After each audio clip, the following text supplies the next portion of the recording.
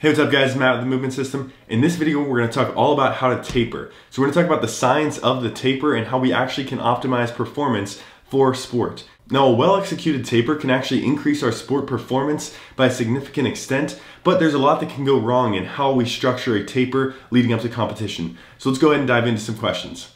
All right, so the first question that you might have is what is a taper? And a taper is really defined as a period of reduced training load leading up to a major competition.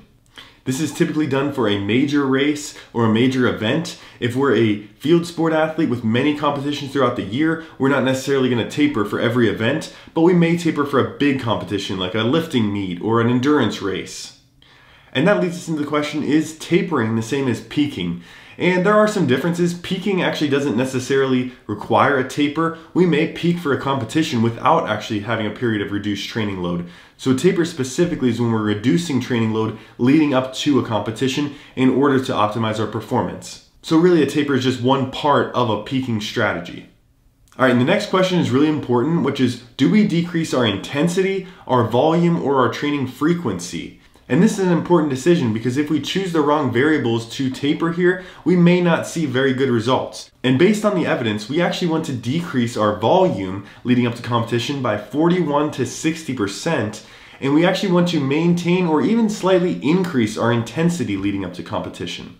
The reason that we want to specifically decrease volume is because our goal with the taper is to reduce fatigue and increase our sport specific fitness. So this will vary a little bit between endurance sports and strength sports, and we'll talk about the difference here in a second. But generally speaking, we want to reduce fatigue of the nervous system and of the body, and we want to increase the sport-specific qualities that are training for our competition. So how would we actually decrease volume? And I will have a full example at the end of what a taper kind of looks like, but one strategy would actually be to reduce session volume. For example, if an endurance athlete's training five times a week leading up to competition, then in the two to three weeks before competition, they may actually maintain that same frequency of training, but their two hour sessions might go down to a one hour training session, which would be about a 50% reduction in volume. We're typically trying to take away the lower intensity training sessions, so our long runs we're trying to reduce a little bit, and our tempo runs and interval work may actually stay the same or slightly increase. For a strength athlete who's trying to taper for a strength competition, we may actually see that they decrease accessory volume and increase the frequency and the intensity of competition specific lifts. And again, the overall strategy here is to reduce our fatigue, especially our fatigue of our neuromuscular system and our type 2 fibers, which do preferentially respond to tapering really well, and to increase our sport specific fitness leading up to that competition. All right, so another question you might have is how long should we actually taper before an event?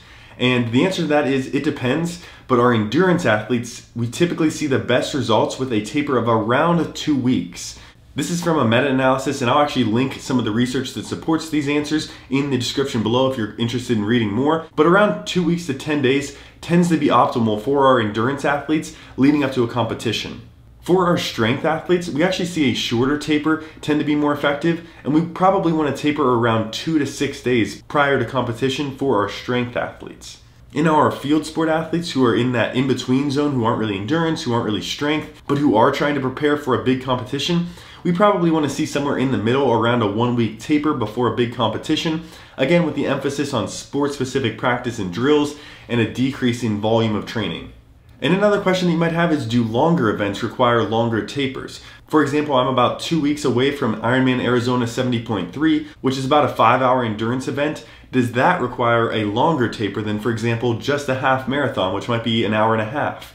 Or even a 10K or something like that. And really surprisingly to me at least, the evidence says that there's not much of a difference between tapering for a short endurance event and tapering for a long endurance event. If you talk to a lot of Ironman athletes, they probably will tell you that a longer Ironman event requires a longer taper, but the evidence really says that we're probably going to get equally effective results around that two week taper for a half Ironman, an Ironman distance, or a 10K distance. However, we do have to consider the individual athlete if they're under a lot of training load and a lot of fatigue. So it could just be a factor that Ironman athletes tend to be a little bit more fatigued from that really high volume training for a long period of time for that event, and they may need a little bit more on the taper because of that. But really it just comes down to managing the individual's fatigue leading up to that competition. All right, so now let's talk through a quick example here, and we're gonna look at a pole vaulters training program in season three weeks out from competition and then one week out from competition and see how this taper kind of looks. So what you can see here in this program is that we have one workout from three weeks out and then we have one workout from one week out of competition.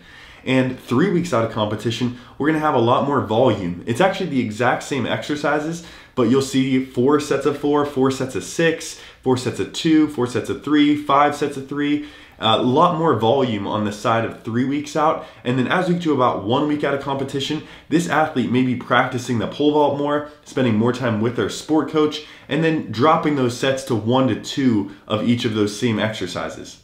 So the intensity actually stays the same in terms of percent one rep max that we're working at, and the exercises stay the same. We're gonna keep doing intense lifting leading up to the competition. However, that volume is gonna be significantly reduced as we approach an important competition for this athlete. This may look a little bit different based on the sport that you're training. For example, for my Ironman 70.3 training, I'm gonna be doing less in terms of lower intensity volume work, and I'm gonna be doing more in terms of tempo runs and race specific efforts. But for whatever athlete you're training, just keep the principles in mind that we typically want to reduce our volume, maintain our intensity, still train hard but pull back on that volume to reduce our fatigue and super compensate our fitness level. Hopefully this was really helpful for you. If it was, go ahead and smash that like button, subscribe so you don't miss any future videos. Make sure you also follow along on Instagram at The Movement System so you see the content that we're posting there as well. And if you're studying for the CSCS exam, make sure you check out themovementsystem.com or some of the study resources listed in the description below. Thanks so much for watching, guys, and we'll catch you in the next one.